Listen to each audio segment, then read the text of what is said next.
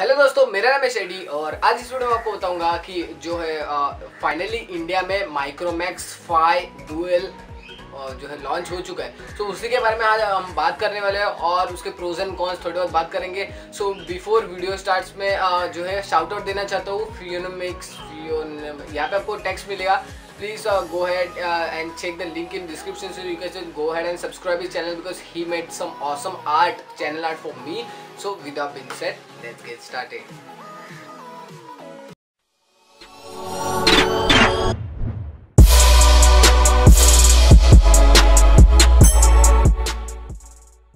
सो so, मैं अगर बात करता हूँ माइक्रोमैक्स डुअल फाइव की तो वो है जो कि टेन अप्रैल को पहला जो है फ्लैश सेल में आपको मिलने वाला है और वो आई थिंक माइक्रोमैक्स के स्पेशल साइट्स पे ही मिलने वाला है। सो so, यहाँ पे उन्होंने एक कुछ बजट और डिज़ाइन अच्छा डिज़ाइन वाला जो है फ़ोन निकाला है। यहाँ पे आपको बताया गया है कि डुअल आपको क्या ये मिलेंगे कैमरास मिलेंगे। तो आप स्क्रीन पे फ़ोटोज़ देख ही सकते हो कैसे है वो। और माइक्रोमैक्स ने ये जो है फ़ोन निकाला जो कि ट्वेंटी फाइव थाउज़ेंड अभी उसकी जो है फिक्स रेटिंग हुई है इंडिया में।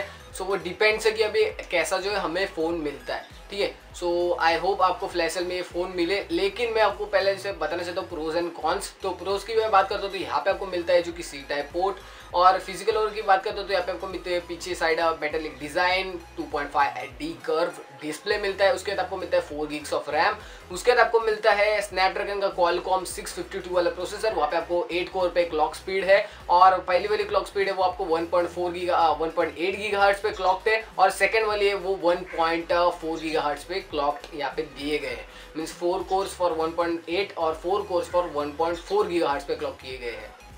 सो या तो 13 मेगापिक्सल कैमरा आपको बैक में मिलता है, जो कि एपरेचर आपको दिए गए हैं 1.8 तो बहुत ही अच्छा एपरेचर यहाँ पे आपको दिया गया है। लेकिन अगर फ्रंट की बात करते हैं तो यहाँ पे आपको दिया गया है 13 मेगापिक्सल कैमरा जो कि एपरेचर आपको 2.0 मिलता है। बैक कैमरा में आपको एसएलआर मोड मिलता है, जो कि आप डीएसएलआर जैसे ही फ़ोटोज़ यहाँ पे निकाल सकते हो। हालाँकि वीडियो क्लैरिटी में थोड़ा बहुत उन्नीस बीस हो सकता है डीएसएलआर जैसे वीडियोस निकालने के लिए, लेकिन यहाँ पे आपको जो है एसएल मोड में आप फ़ोटोज़ बहुत अच्छी तरीके से निकाल सकते हो।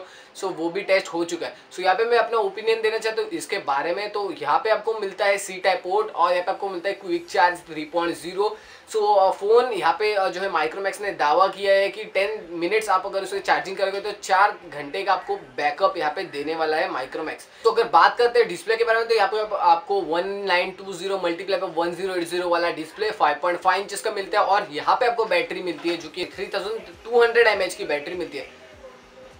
सो so, मुझे समझ में नहीं आ रहा ये क्यों दिया गया है क्योंकि 3200 mAh बैटरी और 5.5 इंच का एचडी डिस्प्ले सो दोनों को अगर मैं लेता हूँ कंबाइन करता हूँ तो यहाँ पे आपको ऑप्टिमाइजिटी एकदम कम मिलने वाला है तो मतलब फ़ोन एकदम बेकार है कचरा है फ़ोन क्यों? क्योंकि यहाँ पे आपको चार्जिंग आपकी टिकने वाली नहीं है तो फ़ोन में इतना सिक्योरिटी की कुछ फ़ायदा नहीं है।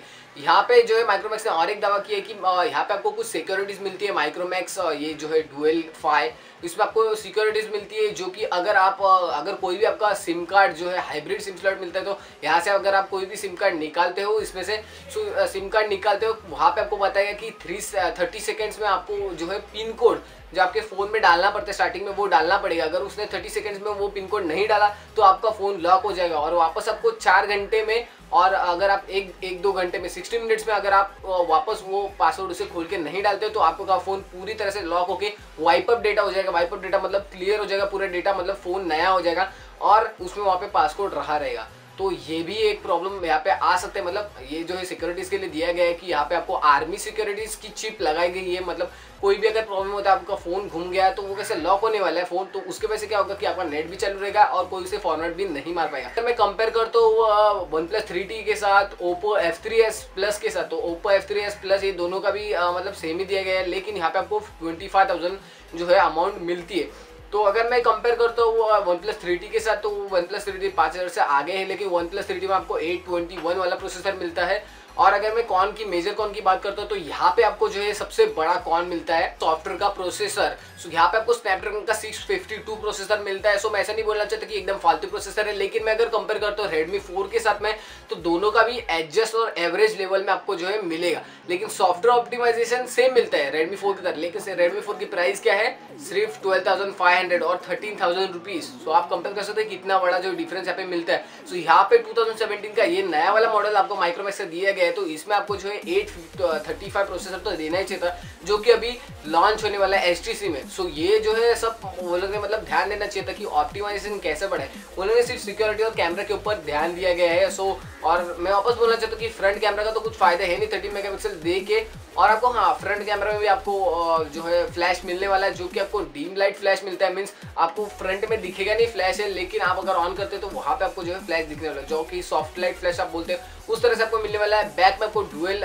फ्लैश मिलने वाला है डुअल एलईडी फ्लैश मिलने वाला है। सो यही है जो भी माइक्रोमैक्स के बारे में आज आपको बताया मैंने और उसको फिंगरप्रिंट भी आपको दी गई है तो फिंगरप्रिंट तो नॉर्मल आपका जो हाईलाइटेड फीचर होता है, वो सब फ़ोन में होता है, लेकिन अगर ट्वेंटी फाइव थाउज़ेंड रुपीज़ के बजट में आपको ये फ़ोन मिलता है तो वहाँ पे आपको सॉफ्टवेयर सॉफ्टवेयर ऑप्टिमाइजेशन अच्छा देना चाहिए था। यही मैं सोचता हूँ तो मुझे वाले नहीं, आपको अच्छा लगा कि नहीं है फ़ोन सो स्क्रीन पे आप फ़ोटोज़ देख ही सकते हो। अच्छा मतलब यहाँ पे आपको गेमिंग परफॉर्मेंस भी ठीक ही मिलता है। लेकिन मैं अगर बात करता हूँ एट कोर के बारे में सो वहाँ पे एक कुछ 1.8 पे क्लॉक पे, कुछ 1.4 पे क्लॉक पे so six fifty two processor इतना जो इफ़ेक्टिव नहीं है compare to eight thirty five नया वाला प्रोसेसर जो क्वालिकॉम ने निकाला है। सो so, इसी तरह से आपको यहाँ पे जो है one twenty eight GB internal memory भी मिलती है। हाँ तो ये भी एक हाईलाइटेड फीचर यहाँ पे दिया गया है जो कि one twenty eight GB memory यहाँ पे आपको दी गई है। तो बीस्ट फ़ोन ये मैं बोलता हूँ लेकिन यहाँ पे आपको मेमोरी कार्ड भी डालने के लिए चांस गया है।